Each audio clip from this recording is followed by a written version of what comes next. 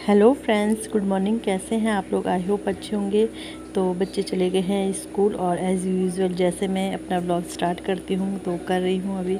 नौ बज रहे होंगे शायद, साढ़े आठ बजे, क्योंकि मेरे को ना ब्लॉग कल मैं सो गई थी, तबीयत थोड़ा सही नहीं थी।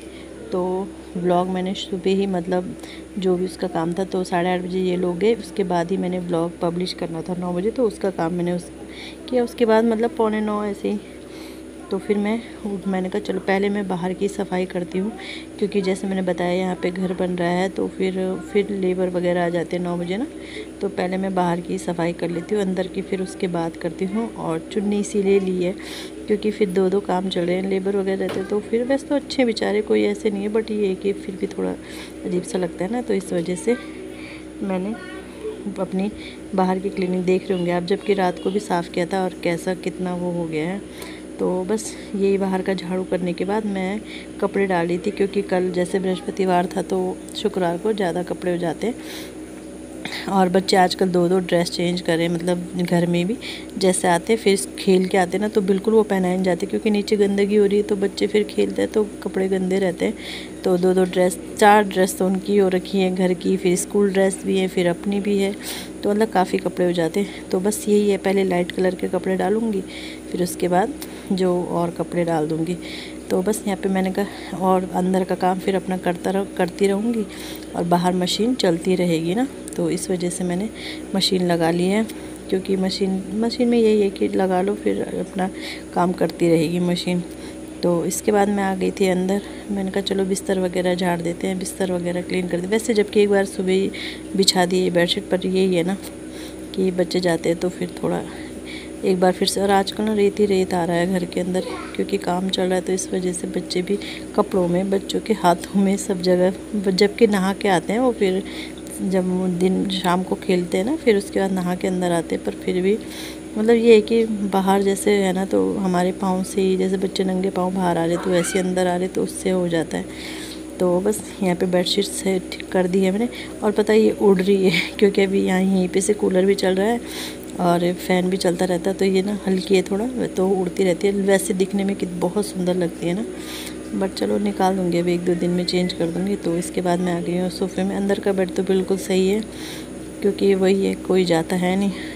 तो बस तो चलो, फिर मैंने हाँ पहले, परसों मैंने यहाँ बिछाई थी बेडशीट, फिर मैंने निकाल दी थी। और देखो, बोतल कैसे गिरा रहे हैं, बच्चे, आवाज़ आ रही होगी आप लोगों को। और मैं बाहर पे आके वॉइस ओवर कर रही हूँ, क्योंकि मेरा भाई आया मैंने बताया ना तो फिर वो मैच वगैरह देख रहे अंदर तो मैं बाहर आ गई थी वॉइस ओवर करने। तो बस यहाँ पे ये भी सही हो गया। मुझे कवर लाने हैं सोफ़े के ना बट मैं ला ही नहीं पा रही ऐसे ही मुझे याद ही नहीं रहता और फिर सोच रही कि थोड़ा जब अच्छे पैसे हो तो अच्छे से ही कवर लाऊँगी। और मतलब ये होता है ना कि जाएँगे तो कवर लेने, लेकिन फिर होता ही कुशन पसंद आ गए, कोई पसंद आ गया तो इसलिए पैसे लेके ही जाओ कि और क्योंकि अभी काम भी चल रहा है, क्योंकि इस क्वेश्चन इस कवर के देखो, ये एक तो पुराना है पता ही है आपको, मैं अपने, मेरे घर के मतलब ससुराल के सोफ़ों के कवर थे ये, और इनमें ना जैसे मशीन में धुलते तो ये धागे धागे से निकल रहे ना तो इनको काट रही थी मैं। मैंने कहा, चलो काट देती हूँ, जब तक काम चल रहा है, तब तक तो चला ही लेते हैं इनसे काम ना। और देखते हैं कब लाती हूँ, कब नहीं लाती हूँ। तो अब मार्केट जाते ना, मुझे याद भी नहीं रहता कि मैं कवर लेने स्पेशल नहीं जाया जाता तो बस यही है। तो कवर ये इनके धागे काट देती हूँ। तो इससे ये कि थोड़ा ठीक लगता है, नहीं तो वो लटकते रहते धागे अच्छे नहीं लगते। तो बस, और ये भी सोच रही थी मैं कि चलो सोफ़े कवर तो ले आऊँगी।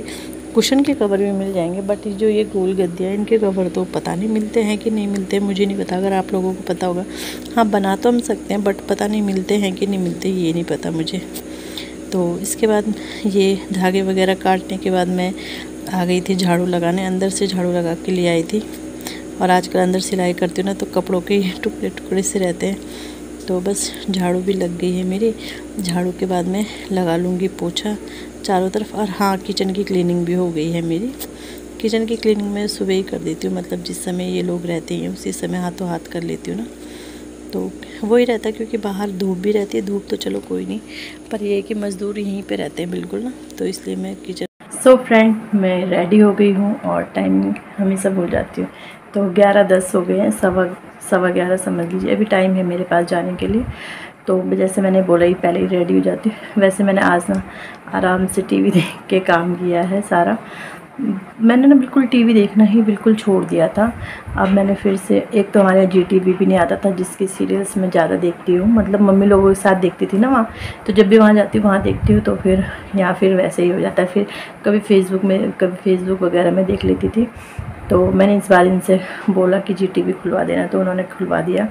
तो फिर मतलब यही है कि देखती हूँ और क्योंकि मतलब मैं यूट्यूब में इतना घुस गई थी, जब भी फ्री टाइम यूट्यूब देखो यूट्यूब देखो यूट्यूब देखो तो अब मैं यूट्यूब छोड़ रही हूँ मतलब देखना छोड़ रही हूँ। ज़्यादा नहीं, देखूँगी तो हूँ ही, ऐसा तो है नहीं कि बिना यूट्यूब के जब काम ही अपना खुद उसमें करना है तो देखना तो है। बट ये कि जितना ज़्यादा घुसी रहती थी यूट्यूब में, उतना नहीं रहूँगी। और कपड़े मेरे धुल गए हैं। और कपड़े ना कुछ तो मैंने डाल दिए, कुछ भी ऐसी चेयर पे रखे। देखती हूँ, ऊपर डाल के आती हूँ, क्योंकि जगह नहीं है तो ऊपर ही डाल के आ जाती हूँ। और तो बस। तो देखती हूँ, कपड़े ऊपर डाल के आती हूँ, क्या करती हूँ। और क्योंकि टाइम तो है अभी। तो बस हो गया है काम। और उस, मैंने मतलब झाड़ू तक शायद मैंने शूट किया, उसके बाद पोछा मारा, फिर फ्रिज भी मैंने क्लीन किया। डीप क्लीनिंग तो नहीं की बट ये है कि ऊपर ऊपर से जाते वैसे डीप क्लीनिंग की इतनी ज़रूरत पड़ती नहीं। बट ये होता है कभी कभी मैंने महीने में हमें करना ही चाहिए। डीप क्लीनिंग फ्रिज कर देती हूँ मैं। बट लेकिन आज मैंने ऐसे ही साफ़ कर दिया। थोड़ा दिमाग ऐसे ही है मतलब मन नहीं लग रहा काम में यूट्यूब में, किसी भी चीज़ में मन नहीं लग रहा, पता नहीं क्या हो कुछ ऐसे ही बात, बातें चल रही हैं, बता नहीं सकती, क्योंकि बस ऐसे ही बता नहीं सकती यूट्यूब में। मतलब बता सकती हूँ बट अभी नहीं बता सकती, बाद में बताऊँगी कभी जो बातें दिमाग में चल रही हैं, क्या है, क्या नहीं है। तो बस यही है, और चलो चलती हूँ बच्चों को लेने थोड़ी देर में, कपड़े ऊपर डाल देती हूँ छत पे, कुछ बच्चे हैं। बस बाद में मिलती हूँ आप लोगों को। और आज हाँ मेरा भाई भी आएगा तो बाद में मिलती हूँ उसके साथ। तो सो फ्रेंड, मैं आ गई थी। मैंने कहा, चलो, कपड़े डाल ही देती हूँ। तो कपड़े डालने आ गई थी छत पे। वैसे कुछ तो नीचे डाले ही हैं मैंने, बट वही था, जगह नहीं थी। और फिर मैंने कहा, चलो, छत पे ही डाल देती हूँ। पहले मैं ऐसे करती थी कि एक बार के सूख जाते थे, फिर दूसरी बार के डालती थी ना। बट फिर मैंने कहा, चलो, छत के ऊपर डाल देती हूँ। और हवा चढ़ रही है बहुत। और पता है क्या बार मैंने जैसे ही डाले नीचे गई थोड़ा मैं बैठी तब तक बारिश भी आ गई। लेकिन फिर वही, वो सिर्फ़ दो सेकंड की बारिश थी। फिर मैं नीचे के कपड़े तो उतार लिए मैंने, कहा ऊपर के तो मैं जाऊँगी नहीं, अब उतारने छोड़ो, रहने दो, भीगने दो, ज़्यादा ही हो जाएगी तो देखी जाएगी। बट लेकिन ये कि जब तक मैंने वो, जब तक मैंने नीचे के कपड़े उतारे, तब तक बारिश भी रुक गई।